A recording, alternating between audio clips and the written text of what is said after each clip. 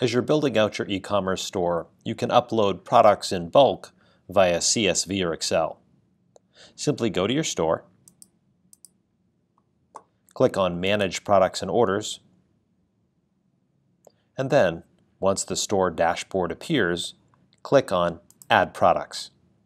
From here, you'll have the ability to import from File up on the top right.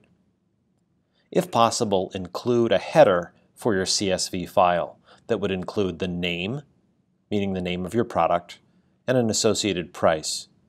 If there's a discounted price for a group of products you want to put on sale, you can do that at this time as well, or simply include that data later.